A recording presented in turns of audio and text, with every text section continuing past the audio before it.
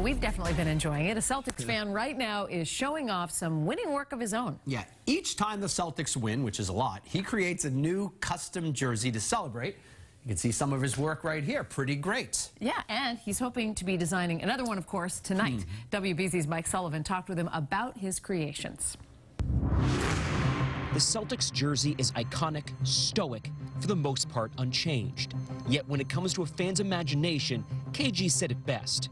Anything is possible. when the pandemic first hit, I was writing for SB Nation, and so when and so when there just wasn't sports anymore, I was like, cool. Well, I uh, got to do something to fill the time. Pete Rogers began tinkering, his hands a flurry, his brain flush with ideas, ways to recreate the classic jersey.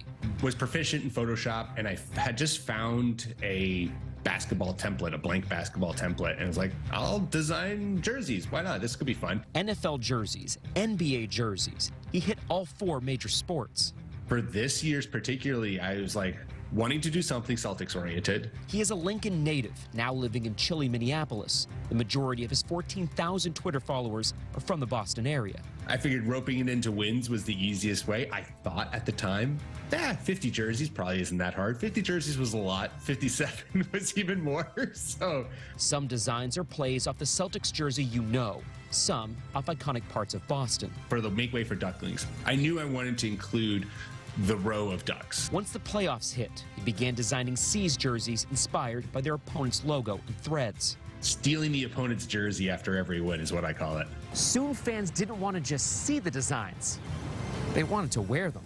We do uh, about monthly drop, um, and that's all through my Twitter. A Florida company, Wade and Williamson, began producing small batches of his jerseys. Seeing it crop up at Celtics games is amazing. Seeing people wear them to games is amazing. Here's to hoping he creates 13 more. The last one, duck boat inspired. In Boston, I'm Mike Sullivan, WBZ News. That is a great idea, and he is really talented. He's so good at it, and I like the ones that really have that Boston feel, like the one that was obviously like Dunkin' Donuts, one the was like Cheers. Yeah. Very cool, very Bravo. talented. Okay.